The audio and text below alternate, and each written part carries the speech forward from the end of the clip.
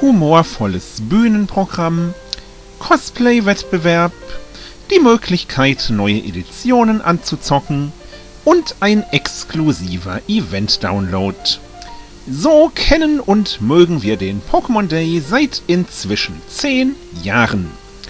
Im Jahr 2014 war davon allerdings wenig zu merken. Sagte ich gerade wenig? Ich meinte natürlich gar nichts.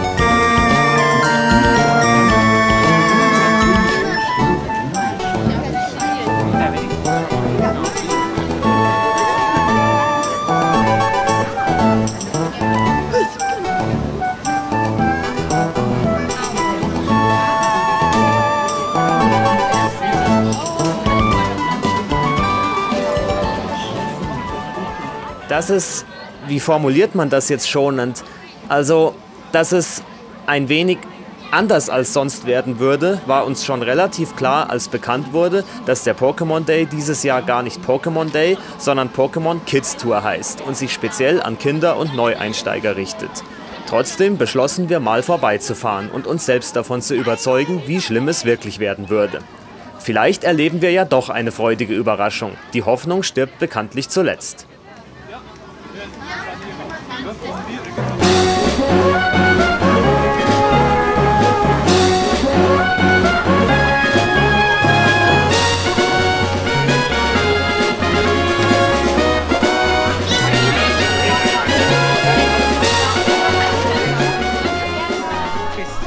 Als wir ankamen, stellte sich schnell heraus, dass wir als langjährige Pokémon-Fans hier tatsächlich die falsche Zielgruppe sind.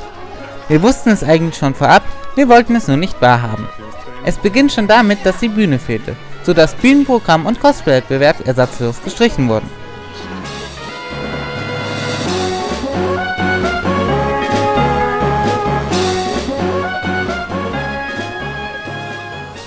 Im silbernen Pokémon Caravan vor dem zumindest Igamaro, Funks und Froxy aufgebaut waren, konnte man Pokémon X und Y anzocken.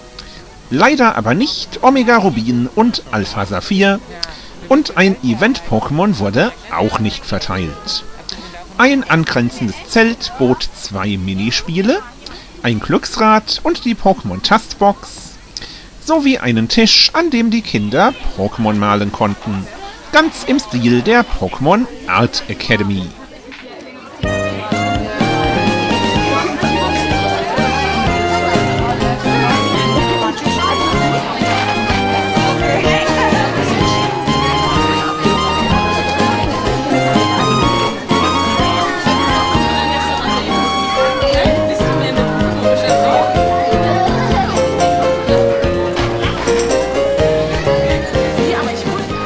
Ja, und das war's. Für uns alte Knacker gab's hier allerdings wenig zu tun. Zumal wir XY längst durchgespielt haben und es daher nicht noch einmal antesten müssen. Stattdessen trug ich zwei Kämpfe gegen Chico aus, von denen ich einen gewann und einen verlor. Beim zweiten Kampf habe ich es tatsächlich geschafft, Chicos unbesiegbares Shiny Darkrai umzunieten. Muhahaha! Aber sehr viel länger als eine halbe Stunde hielten wir uns nicht am Veranstaltungsort auf. Stattdessen fuhren wir den benachbarten Olympiaturm hinauf und sahen uns München von oben an. Anschließend verbrachten wir den Rest des Tages im Sea Life, das sich ebenfalls nur wenige Meter entfernt befindet.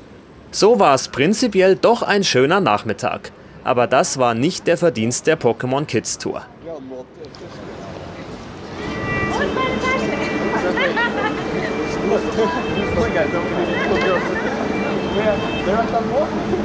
Okay, um, So you, all of you are going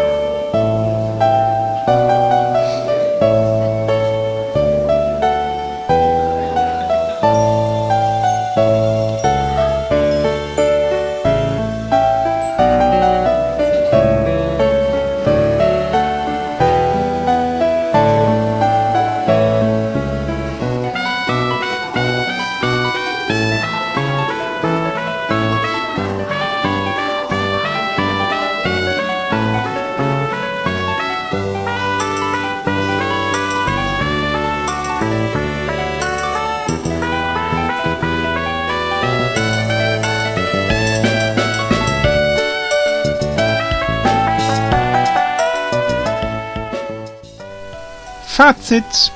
Wir bleiben Pokémon-Fans. Und unsere Vorbestellungen für Omega Rubin und Alpha Saphir bleiben bestehen, keine Frage. Von der Pokémon Kids Tour sind wir allerdings enttäuscht. Wir sind hingefahren, um uns selbst ein Bild davon zu machen, um der Tour zumindest eine Chance zu geben und eben auch für die komplette Sammlung. Immerhin waren wir seit 2004 auf jedem Pokémon Day. Wenn es allerdings nächstes Jahr wieder eine Kids-Tour anstatt einem normalen Pokémon Day gibt, dann fahren wir vermutlich nicht wieder hin. Also Nintendo, bitte nächstes Jahr wieder einen herkömmlichen Pokémon Day. Die langjährigen Fans werden es euch danken.